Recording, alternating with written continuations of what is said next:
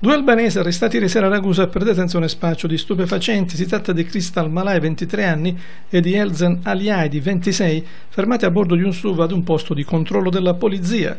Il perme è avvenuto nei pressi di via Sant'Anna. I due occupanti avevano cercato subito di sbarazzarsi di un involucro plastificato.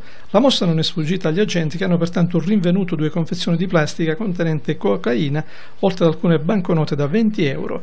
Le singole dosi, per un totale di 8 grammi e soldi, sono state sottoposte a sequestro. Sono stati successivamente perquisiti i rispettivi domicili e sono stati trovati due bilancini di precisione, oltre a diversi fogli di carta plastificata utilizzata per confezionare le singole dosi. Durante ulteriori servizi, inoltre, la polizia ha fermato un'auto con a bordo quattro giovani vittoriesi. L'auto stava per accelerare, ma la volante l'ha subito bloccata. All'interno, rinvenuto una mazza da baseball e il conducente, non sapendo giustificarne possesso e provenienza, è stato denunciato all'autorità giudiziaria.